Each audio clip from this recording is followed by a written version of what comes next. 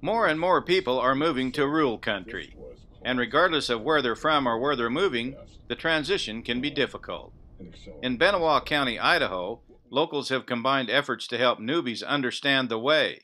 It's called Code of the New West. I'm Del Rust. I'm the current president of the Benewah County Farm Bureau, and uh, this project that we're visiting with you about today uh, covers a, a broad a spectrum of uh, the county in uh, infrastructure, uh, what services are available either uh, privately or public, uh, and they're listed in the book. And there's also an explanation of of like what's the culture of our county. And, so people have a better understanding uh, before they ever come here uh, what makes Benewah County uh, work and what to expect when they come here or think they'd like to buy property here.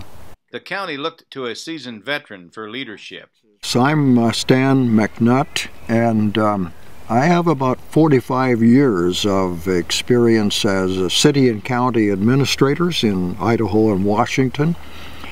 And um, originally I came in contact with this concept in Blaine County, uh, Sun Valley area, and it is so good that I have carried it with me uh, since. Benewah County still is what America once was, and people would like to preserve that and yet be open to uh, to new people. It's to help new people assimilate uh, with facts not promoting, not anything negative, but with facts so they can assimilate into, if they choose to, into uh, being residents of Benewah County.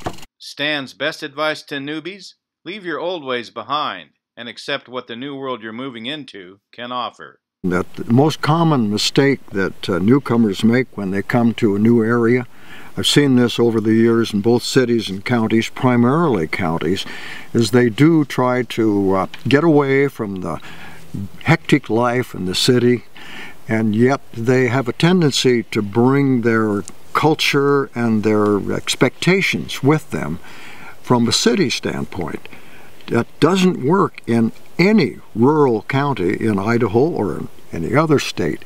So our our document is to help them assimilate and understand if they're willing to look at this, provide them lots of information, and give them a chance to uh, um, assimilate from a positive standpoint instead of running into all kinds of different problems and realizing they didn't know that.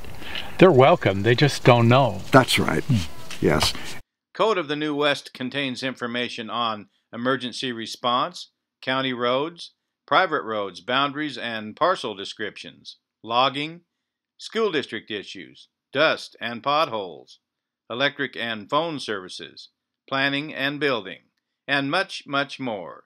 Visit www.benewahcountyidaho.org to view the full document. With the Idaho Farm Bureau, the voice of Idaho agriculture, I'm Steve Ritter.